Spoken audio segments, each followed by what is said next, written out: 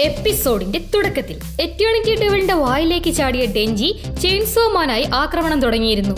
നീ ചത്തില്ലെന്ന് എനിക്കറിയാമായിരുന്നു ചെയിൻസോ. ചാകടാ. എന്ന് ഡെഞ്ചി ഉപദ്രവിക്കുകയാണ് ആ ഡെവിൾ. അതിനെ വെട്ടി പരിക്കേൽപ്പിക്കുകയാണ് ചെയിൻസോ. ആ വേദനയിൽ കരയുന്ന ഡെവിൾ എന്റെ ഹൃദയം എവിടെയില്ല? നിനക്ക് എന്നെ കൊല്ലാൻ കഴിയില്ല. എന്ന് വിളിച്ചു പറഞ്ഞു നിൽക്കുകയാണ്. ആ കാഴ്ച നോക്കിയിരിക്കുകയാണ് ഹിമനോയും അരായും കൊബനിയും. ഡെഞ്ചിയുടെ മറ്റൊരു രൂപമായ ചെയിൻസോമാനെ നോക്കി അതിശയിച്ചു പോയ ഹിമനോ അവനൊരു ഡെവിളാണ് എന്ന് പറയുമ്പോൾ സംഗതി പ്രശ്നോ ഡെഞ്ചിക്ക് രക്തം നഷ്ടപ്പെട്ടുകൊണ്ടിരിക്കുവോ? അത് തുടർന്നാ അവന്റെ ചെയിൻസോ തിരിച്ചു പോകും എന്ന് ആദിയിൽ ആകെയുമായിരിക്കുകയാണ് പവർ. പവർ പറഞ്ഞതുപോലെ തന്നെ ഏറെ നേരമായുള്ള ചെയിൻസോടെ പോരാട്ടം കാരണം ക്ഷീണിതനായി മാറിയിരുന്നു ഡെഞ്ചി. അത് കണ്ട് നിന്റെ ശക്തിയെല്ലാം ചോർന്നു പോയല്ലോ കഷ്ടം തന്നെ ചെയിൻസോ എന്ന് പുച്ഛിക്കുകയാണ് എറ്റേണിറ്റി ഡെവിൾ. ചെയിൻസോ തിരിച്ചുപോയി. എന്റെ ചോര തീർന്നോ? എന്ന് നിൽക്കുന്ന ഡെഞ്ചി തന്നെ ഡെവിൾ കൊല്ലുമെന്നായപ്പോൾ പെട്ടെന്ന് ഒരു ഐഡിയ തോന്നുകയാണ്. അതായത് ആ ഡെവിളിന്റെ തന്നെ രക്തം കുടിക്കുക. അങ്ങനെ അത് കുടിച്ച് വീണ്ടും ആക്റ്റീവായ നമ്മുടെ ചെയിൻസോ സെപ്റ്റിക് ടാങ്കിലെ വെള്ളം പോലുള്ള ചോര പോലും സ്ട്രോബെറി ജാം പോലെ മധുരമുള്ളതായി തോന്നും. നീ ഇങ്ങനെ കിടന്ന് നിലവിളിക്കുന്നത് കാണുമ്പോൾ എന്ന് ഉറക്കെ പറഞ്ഞ് ആർത്ത് ചിരിച്ച് ആക്രമിക്കുകയാണ്. ആ കാഴ്ച നോക്കി നിന്ന ഹിമിനോയുടെ ഒരു ഫ്ലാഷ് ബാക്ക് നമുക്ക് കാണാം. തന്റെ മരണപ്പെട്ട ഭടികളെ കാണാനെത്തിയ ഹിമിനോയോട് കവളിൽ ഇടത് സൈഡിൽ തുന്നൽ പാടുകളുള്ള ഹിമിനോയുടെ മെന്റർ ഡെവിളുകൾ ഏറ്റവും കൂടുതൽ ഭയക്കുന്നത് ഒരു അരപ്പിലി ലൂസായ ഡെവിൽ ഹണ്ടർമാരെയാണ്. നിനക്കൊപ്പമുള്ള ആർക്കും ഒരു വട്ടുമില്ലായിരുന്നു അതുകൊണ്ടാണ് അവർ മരിച്ചത്. ബോധമുള്ള ഒരുത്തൻ ഡെവിൾ ആക്രമിക്കാൻ വന്ന പേടിക്കും. ആ പേടി ഡെവിളിന്റെ ശക്തി കൂട്ടുകയും ചെയ്യും. എന്ന് ഉപദേശിച്ച് പുതിയ വയനില്ലേ? ആകി. അവന്റെ കാര്യം എങ്ങനെ? അവന് വട്ടുണ്ടോ? എന്നുകൂടി തിരക്കുമ്പോൾ വട്ടില്ലാത്തൊരുത്തനും ആ ഗൺതണ്ടിയെ കൊല്ലാൻ നോക്കില്ല എന്ന് അയാളെ അറിയിക്കുകയാണ് ഹിമനു. എന്നാൽ മിക്ക ഡെവൽ ഹണ്ടർമാരും ഗണ്ണിനെ കൊല്ലുന്നത് സ്വപ്നം കാണുന്നവരാണ്. ഭൂരിഭാഗവും നല്ല ഒന്നാം തരം സാധാരണ മനുഷ്യരാണ്. അതുകൊണ്ട് അവരെ എങ്ങനെ പീഡിപ്പിക്കണമെന്ന് ഡെവിളുകൾക്കറിയാം. പക്ഷെ ഒരു ഭ്രാന്തൻ എന്താണ് ചിന്തിക്കുന്നതെന്ന് മനസ്സിലാക്കാൻ പ്രയാസമാ. മനസ്സിലാക്കാൻ കഴിയാത്തതിനെ ഡെവിളുകൾക്കും പേടിയാണ് എന്ന് വിവരിച്ച് മദ്യപിച്ച് നിൽക്കുന്ന അയാൾ. ആകെക്ക് ഇനിയും പഠിക്കാനുണ്ട്. ആളെ നല്ലപോലെ പരിശീലിപ്പിക്കുക എന്നവിടുന്ന് പോകാൻ തുടങ്ങുമ്പോൾ ഞാൻ സമയമെടുത്ത് നന്നായി പരിശീലിപ്പിച്ചോളാം എന്ന് അയാളെ അറിയിക്കുകയാണ് ഹിമനു. അത് കേട്ട് നിനക്കധികം സമയമില്ല. ചെക്കൻ നല്ല വേഗത്തില ഗണിന്റെ കഷ്ണങ്ങൾ ശേഖരിക്കുന്നത്. ഓക്ക് ഇങ്ങനെയാണേ അവൻ അടുത്ത് തന്നെ ഗണിനെ കണ്ടുമുട്ടും എന്ന് നടക്കുകയാണ് അയാൾ. അത് കേട്ട് ഇല്ല ഇല്ല ഇല്ല എന്ന് ഞെട്ടലോടെ നിൽക്കുകയാണ് ഹിമനു. പിന്നീട് ആഗിക്കൊപ്പം റെസ്റ്റോറന്റിൽ ഇരിക്കുന്ന ഹിമനു ആഗി എന്റെ കൂടെ പ്രൈവറ്റ് ബിസിനസ്സിലേക്ക് വരുന്നോ? ഒരാൾ എനിക്ക് നല്ലൊരു ഓഫർ തന്നിട്ടുണ്ട്. അങ്ങനെയാണെങ്കിൽ നമുക്ക് ഗണിനെ വേട്ടയാടേണ്ടി വരില്ല. ഇതുപോലെയുള്ള സ്ഥലങ്ങളിൽ നിന്ന് സ്ഥിരമായി കഴിക്കാം. ജോലി കഴിഞ്ഞ് ഇടയ്ക്കൊക്കെ ഒരു സിനിമയ്ക്കും പോകാൻ പറ്റും. അതൊരു നല്ല ജീവിതമായിരിക്കില്ലേ? എന്ന് ഗവൺമെന്റ് ഡെവൽ ഹണ്ടറായുള്ള ജോലി ഉപേക്ഷിക്കാൻ നിർബന്ധിക്കുമ്പോൾ ഞാൻ ഒരിക്കലും ഒരു പ്രൈവറ്റ് ഹണ്ടർ ആവില്ല. എന്ന് ഗണ്ടവളിനെ കൊല്ലുക എന്ന തന്റെ ലക്ഷ്യത്തിൽ നിന്ന് താൻ മാറില്ലെന്നിരിക്കുകയാണ് ആകി അത് കേട്ട് ടെൻഷനായി അയാളിൽ നിന്ന് സിഗരറ്റ് വാങ്ങി പോയിക്കുന്ന ഹിമനു. ആകി ഗണ്ടവളിനെ എന്തെങ്കിലും നേരിട്ട അവൻ ഉറപ്പായി മരിക്കും. ഞങ്ങൾക്ക് ശക്തി കുറവായതുകൊണ്ടോ ആ ഡെവിൾ കണ്ണടച്ച് തുറക്കും മുന്നേ നൂറാളുകളെ കൊല്ലുന്നതുകൊണ്ടോ അല്ല.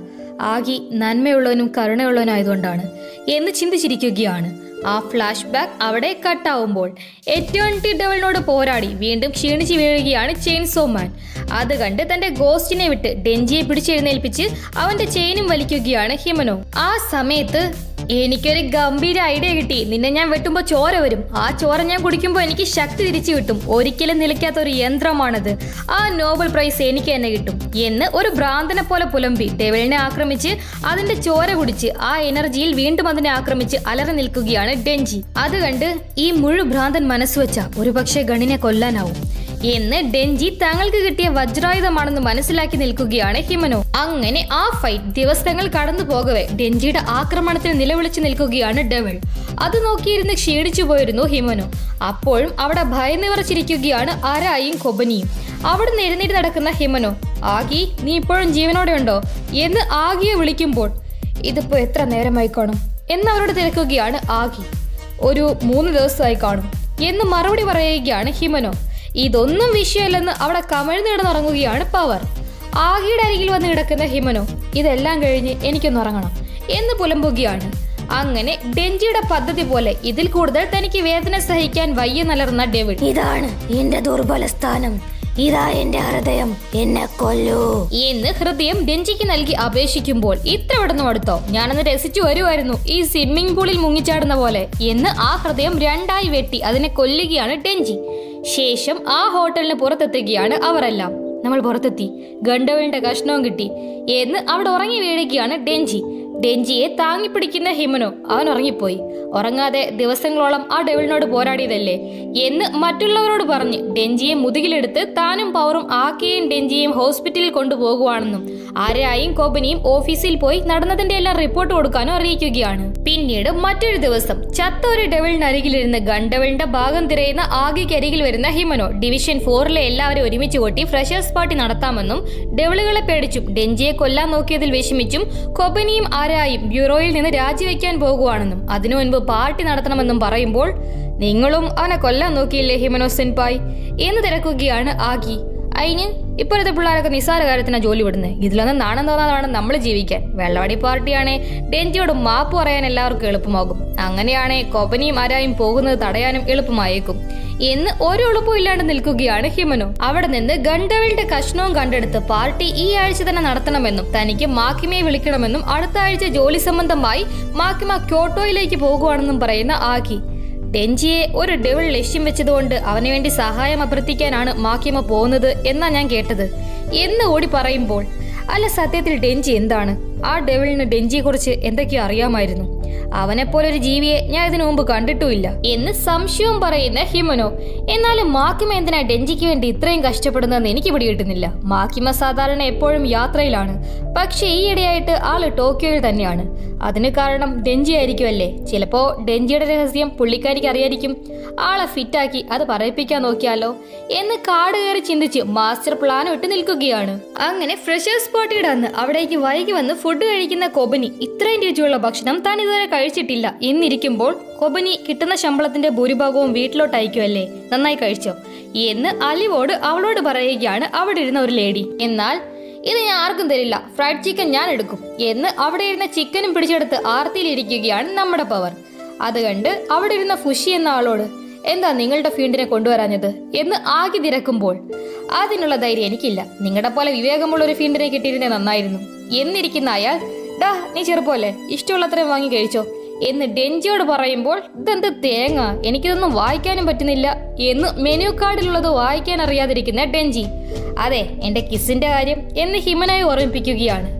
ബോധമുള്ളപ്പോഴൊക്കെ എനിക്ക് നാണോ. കുറച്ചുകൂടെ കഴിയട്ടെ. പിന്നെ നിന്നെ കൊല്ലാൻ നോക്കിയതിന് എന്നോട് പൊറുക്കണം കേട്ടോ ഡെഞ്ചി എന്നിരിക്കുകയാണ് ഹിമനു. എടേത് ഫ്രഷേഴ്സ് പാർട്ടിയാ. നിന്നെ ഒന്ന് പരിചയപ്പെടുത്ത്. നിന്റെ പേര് വയസ്സ് പിന്നെ ഏത് ഡെവളുമായാണ് നിനക്ക് കരാറുള്ളത് എന്ന് ഡെഞ്ചിയോട് തിരക്കുകയാണ് ഫുഷി ഏത് ഡെവളുമായാണ് കരാറുള്ളതെന്ന് നിനക്ക് വിശ്വാസമുള്ളവരോട് മാത്രമേ പറയാവൂ എന്ന് ഡെഞ്ചി തടയുകയാണ് ആകി എന്ന എല്ലാവരുടെ ഹോബി പറ. ഹോബി വെച്ച് ഒരാളെ കുറിച്ച് കുറെ മനസ്സിലാക്കാൻ സാധിക്കും എന്ന് ഹിമന ഇടപെടുമ്പോൾ എന്റെ പേര് ഡെഞ്ചി. എന്റെ ഹോബി തീറ്റയും പിന്നെ ഉറക്കവും എന്നിരിക്കുകയാണ് ഡെഞ്ചി. ഞാൻ ഹിറോകാസു ആരായി എനിക്ക് കരാറുള്ളത് ഫോക്സ് ഡോളുമായ ഹൈക്കു എഴുതലാണ് എന്റെ ഹോബി എന്ന് തന്നെ പരിചയപ്പെടുത്തുകയാണ് ആരായി. അത് കേട്ട് അല്ല ഹയക്കാവയ്ക്കും അതേ ഡോളുമായല്ലേ കരാറ്? എന്ന് ഡെഞ്ചി സംശയം തിരക്കുമ്പോൾ ഫോക്സ് ടെവൽ മനുഷ്യരുമായി നല്ല ബന്ധത്തില്ല. അതിന് ധാരാളം ഹൺഡ്രോമാരുമായി കരാറുണ്ട് എന്ന് അവന് പറഞ്ഞ് മനസ്സിലാക്കി കൊടുക്കുകയാണ് ആഖി. ഞാൻ ഗോപനി ഹിഗാഷിയാമ എനിക്ക് കരാറുള്ള ഡെവൽ ഒരു രഹസ്യമാണ്. എന്റെ ഹോബി നല്ല രുചിയുള്ള ഭക്ഷണം കഴിക്കുന്നതാ എന്ന് കോബനി നിൽക്കുമ്പോൾ ആഗിയുടെയും ഹിമനോയുടെയും അസിസ്റ്റൻസിനെ പരിചയപ്പെട്ട സ്ഥിതിക്ക് ഫുഷി നിന്റെ പുതിയ ആളുകൾ വന്നില്ലേ? എന്ന് മറ്റുള്ളവരുടെ അസിസ്റ്റൻസിനെ പരിചയപ്പെടാൻ തിരക്കുകയാണ്. നിർഭാഗ്യവശാൽ അവർ ഇന്നലെ മരിച്ചുപോയി. പ്രൈവറ്റ് ഹൺഡർമാർ ഏറ്റെടുക്കാൻ മടിക്കുന്ന ഡെവളുകളാണ് നമുക്ക് കിട്ടുന്നത്. അതുകൊണ്ട് നമ്മുടെ ആളുകൾ മരിക്കുന്നത് സർവസാധാരണമാണ്. എന്റെ കൂടെ ജോലിക്ക് കയറിയവർ ആരും ഇപ്പൊ ജീവനോടെ ഇല്ല എന്ന് എല്ലാവരെയും അറിയിക്കുകയാണ് അയാൾ. പെട്ടെന്ന് ഡെഞ്ചിക്ക് എന്നെ ഉമ്മ വയ്ക്കണം. അതുകൊണ്ടോ മരിക്കില്ല എന്ന് ഡെഞ്ചിയുടെ തോളിൽ കൈയിട്ടിരിക്കുകയാണ് ഹിമനു. അത് കേട്ട് ഹിമൻ അടിച്ച് പൂസായ എല്ലാവരെയും കയറി ഉമ്മ വയ്ക്കും. നിങ്ങൾ പുതിയ പിള്ളേരെ ഒഴിച്ച് ഇവിടെയുള്ള എല്ലാവരെയും അവൾ ഉമ്മ വച്ചിട്ടുണ്ട്. നിനക്ക് രക്ഷപ്പെടാൻ പറ്റില്ല മോനെ. എന്ന് സ്ഥലത്തെ പ്രധാന കിസ്സറാണ് ഹിമനോ എന്ന് ഫുഷി പറയുമ്പോൾ അപ്പോൾ തനിക്ക് കിസ് ഉറപ്പാണെന്ന് സന്തോഷിച്ചിരിക്കുകയാണ് ഡെഞ്ചി. ഡെഞ്ചി ആ പിറുവിറുക്കുന്നതും കേട്ട് അവിടേക്ക് വന്ന മാക്കിമ ഡെഞ്ചിയോട് കാര്യം തിരക്കുമ്പോൾ മാക്കിമയെ കണ്ട് ഞെട്ടുകയാണ് ഡെഞ്ചി. മാക്കിമയെ തനിക്കരികിൽ വിളിച്ചിരുത്തുകയാണ് ആക്കി. ഡെഞ്ചി നീ ആരെങ്കിലും ഉമ്മ വയ്ക്കാൻ പോകുവാണോ? എന്ന് അപ്പോഴും തിരക്കുകയാണ് മാക്കിമ ഏയ് അല്ല എന്ന് അതിന് ഡെഞ്ചി ഇരിക്കുമ്പോൾ ഡെഞ്ചി നിനക്കപ്പോ ഉമ്മ വേണ്ടേ? എന്ന് തിരക്കുകയാണ് ഹിമനോ. ഹിമനോയെ തനിക്ക് ഉമ്മ വയ്ക്കുകയും വേണം എന്നാലത് മാക്കിമ കാണാനും പാടില്ല എന്ന് ആകെ പതറിയിരിക്കുന്ന ഡെഞ്ചി. മാക്കിമ അറിഞ്ഞോ? ഞാൻ മറ്റേ ഗണ്ടവളിന്റെ കഷ്ണം ഒരെണ്ണം കണ്ടുപിടിച്ചു എന്ന് വിഷയം മാറ്റുകയാണ്. കേട്ടിരുന്നു. കൊള്ളാൻ ഡെഞ്ചി എന്ന് അവനെ അഭിനന്ദിക്കുകയാണ് മാക്കിമ ഗണ്ടവളിന്റെ കഷ്ണങ്ങളുള്ള ഡവളുകൾ പണ്ടത്തേക്കാൾ ഇപ്പൊ കൂടുതൽ കണ്ടുവരുന്നു. ഇപ്പൊ ഡെഞ്ചിയെ ലക്ഷ്യം വെച്ച് ഒരു ഡവളും വന്നു. ഇതിനെല്ലാം എന്തോ പന്തികേടുണ്ട്. മാക്കിമയ്ക്ക് ഡെഞ്ചിയെ കുറിച്ച് ഞങ്ങൾക്കറിയാതെ എന്തെങ്കിലും അറിയാമോ എന്ന് ആ കാര്യം തിരക്കുകയാണ് ആക്കി. അതിനെ തന്നെ മദ്യപിച്ച് തോൽപ്പിച്ചാൽ മറുപടി പറയാമെന്ന് മാക്കിമ ആക്കിയെ വെല്ലുവിളിക്കുമ്പോൾ ആക്കിയൊപ്പം ഹിമനോയും ആ വെല്ലുവിളി ഏറ്റെടുക്കുകയാണ്. അതിനിടയിൽ ഇറച്ചി വളർത്തിയത് പൊരിച്ച കോഴി എന്ന് തീറ്റയെ ശ്രദ്ധിച്ചിരിക്കുകയാണ് പവർ. എനിക്കൊരു പൊരിച്ച കോഴി എന്നിരിക്കുകയാണ് ഡെഞ്ചി. അപ്പോഴേക്കും വെള്ളമടി മത്സരത്തിൽ ആകെയും ഹിമനോയും ഫ്ലാറ്റായി കിടക്കുകയാണ്. അപ്പോഴും അടുത്തതിന് ഓർഡർ ചെയ്തിരിക്കുകയാണ് മാക്കിമ തീറ്റയിൽ മാത്രം ശ്രദ്ധിച്ചിരിക്കുന്ന പവറിനെ നോക്കി നീ എന്തായാലും കൊള്ളാം പവറെ. നിന്നെ പോലെ അക്രമ സ്വഭാവം നിയന്ത്രിക്കാൻ അധികം ഫീൽഡുകൾക്ക് സാധിക്കാറില്ല എന്നും പവറിനെ അഭിനന്ദിക്കുകയാണ് അവിടെ ഇരുന്ന മറ്റൊരു ലേഡി. അത് കേട്ട് അതെനിക്ക് നല്ല ഉയർന്ന ഐക്യമുള്ളതുകൊണ്ടാ എന്ന് അഭിമാനത്തിൽ അതിന് മറുപടി പറയുകയാണ് പവർ. ഐക്യമാണോ അതൊക്കെ നിയന്ത്രിക്കുന്നത്? നിന്റെ ഐക്യം എത്രയാ? എന്ന് അവർ തിരക്കുമ്പോൾ ഒരു നൂറ് ഒരു അഞ്ഞൂറ് അല്ലെങ്കിൽ ആയിരം എന്ന് തട്ടിവിടുകയാണ് പവർ. പെട്ടെന്ന് അതിനിടയിൽ വെള്ളമടിച്ച് പൂസായി ഡെഞ്ചിയേക്കറി കിസ്സടിക്കുകയാണ് ഹിമനു. അയ്യോ മാക്കിം എന്നെ കണ്ടു. എന്ന് ഞെട്ടിയിരിക്കുന്ന ഡെഞ്ചിയുടെ വായിലേക്ക് പെട്ടെന്ന് ഛർദ്ദിക്കുകയാണ് ഹിമനു. അത് കണ്ട് സകലരും ചിരിക്കുമ്പോൾ ഇതവൻ ഈ ജന്മത്ത് മറക്കില്ല എന്നിരിക്കുകയാണ് ഫുഷി എന്റെ പൊന്നോ പോഷക ഗുണമുള്ള എന്ത് വായി വെച്ച് കൊടുത്താലും ഡെഞ്ചി അത് വിഴുങ്ങും എന്ന് അത് കണ്ട് ചിരിച്ചു മറിഞ്ഞിരിക്കുകയാണ് പവർ. ആ സീൻ അവിടെ കട്ടായിട്ട് നമുക്ക് ഡെഞ്ചിയുടെ ഒരു ഫ്ലാഷ് ബാക്ക് കാണാം. മറ്റുള്ളവർ കളയാറുള്ള ഭക്ഷണ അവശിഷ്ടങ്ങൾ കുപ്പത്തൊട്ടികളിൽ നിന്ന് പെറുക്കിയെടുത്ത് പൊച്ചിറ്റയുമായി കഴിച്ച് ജീവിച്ചിരുന്ന ഡെഞ്ചി അവിടെ ആരുടെ ഷർദിൽ എലികൾ തിന്നുന്നത് കണ്ട്. പൊച്ചിറ്റ നോക്കിയേ ഏതോ ഒരുത്തം വാൾ വെച്ചത് എലികൾ തിന്നുന്നു. എന്താ അല്ലേ? സസ്തനികളുടെ പേര് കളയാൻ ഓരോന്നിറങ്ങിക്കൊള്ളും എന്ന് അതുങ്ങളെ കളിയാക്കിയിരിക്കുകയാണ്. ആ ഫ്ലാഷ് ബാക്ക് അവിടെ കട്ടാവുമ്പോൾ ടോയ്ലറ്റിൽ വാൾ വെച്ചിരിക്കുന്ന ഡെഞ്ചിക്കരികിലിരിക്കുന്ന അരായ് ഹിമനോ സെൻബായിക്ക് വെള്ളമടിച്ച ഒരു ബോധവുമില്ല. എന്ന് അവരെയും കുറ്റപ്പെടുത്തി എനിക്ക് ഡബിൾ ഹൺഡ്രഡ് എന്ന നിലയെ നിന്റെ അത്ര കഴിവില്ല. എനിക്ക് നിന്നോട് ശരിക്കും അസൂയ. എന്ന് എൻജിയെ സന്തോഷിപ്പിക്കാൻ പറയുമ്പോൾ എന്നോട് അസിയോ എന്റെ കോലം കണ്ടോ? എന്റെ ആദ്യത്തെ കിസ് അണ്ണാക്കിലോട്ടൊരു വാളായിരുന്നു. അതിനാണോടോ അസിയ? എന്ന് അവശനായി വീണ്ടും വാൾ വെക്കുകയാണ് ടെൻജി അങ്ങനെ പാർട്ടിയൊക്കെ പിരിഞ്ഞ് ബോധമില്ലാതെ ആകെയും താങ്ങി നിൽക്കുന്ന പവറിനെ നോക്കി അവരെ താൻ വീട്ടിലാക്കാമെന്ന് നിൽക്കുകയാണ് മാക്കിമ. ഇന്നത്തെ ചിലവ് മാക്കിമയുടെ വകയാണ്. എല്ലാവരും ആൾക്ക് നന്ദി പറഞ്ഞേ എന്ന് മാക്കിമയ്ക്ക് നന്ദി പറയുകയാണ് ഫുഷി. ആ സമയത്ത് അവിടെയെങ്ങും ഡെഞ്ചിയെ കാണാതെ. ഡെഞ്ചി എവിടെ? എന്ന് അവരോട് തിരക്കുകയാണ് മാക്കിമ്മ. ഡെഞ്ചിയെ ഹിമനോ സെൻപൈ പൊക്കിക്കൊണ്ടുപോയല്ലോ എന്നറിയിക്കുകയാണ് ഫുഷി. ആ സീൻ അവിടെ കട്ടാവുമ്പോൾ ഹിമനോയുടെ വീട്ടിൽ അർദ്ധബോധാവസ്ഥയിൽ ഞാനിത് എവിടെയാ? വെള്ളം. ആ ആ പെണ്ണുമ്പോൾ എന്റെ അണ്ണാക്കിലോട്ട് വാൾ വെച്ചു. കോപിലെ പരിപാടി. എന്ന് പുലമ്പി കിടക്കുകയാണ് ഡെഞ്ചി. പെട്ടെന്ന് അവിടേക്ക് വന്ന് ഡെഞ്ചി നീ എന്താ എന്റെ വീട്ടിൽ? ഞാനാണോ നിന്നെ അവിടെ കൊണ്ടുവന്നേ? എന്ന് ഡെഞ്ചിയോട് തിരക്കി ബോധം കെട്ട് വീഴുന്ന ഹെമനോ വീണ്ടും എഴുന്നേറ്റ് ഡെഞ്ചിക്കൊപ്പം ബെഡിൽ കയറി കിടക്കുകയാണ്. അങ്ങനെ ഇന്നത്തെ എപ്പിസോഡ് ഇവിടെ അവസാനിക്കുമ്പോൾ മറ്റാർക്കും അറിയാത്ത എന്നാൽ മാക്കിമയ്ക്ക് അറിവുള്ള ഡെഞ്ചിയുടെ ആ പ്രത്യേകത എന്തായിരിക്കും? കാത്തിരിക്കുക കഥ തുടരും. Then bye